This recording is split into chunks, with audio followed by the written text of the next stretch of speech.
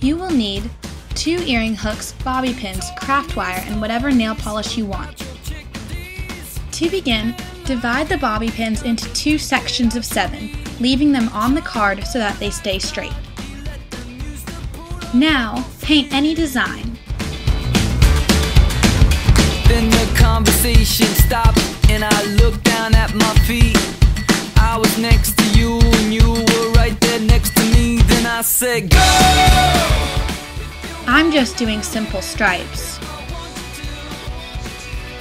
But feel free to try chevron. Next, let the nail polish dry.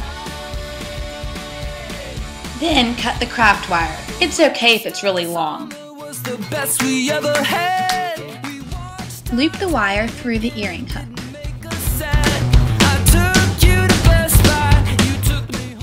I chose to twist mine for a cool look.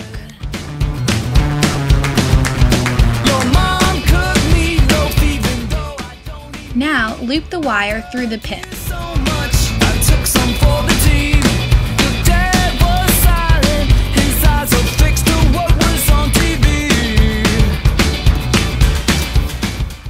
Secure the ends around the earring. And I looked down at the ring.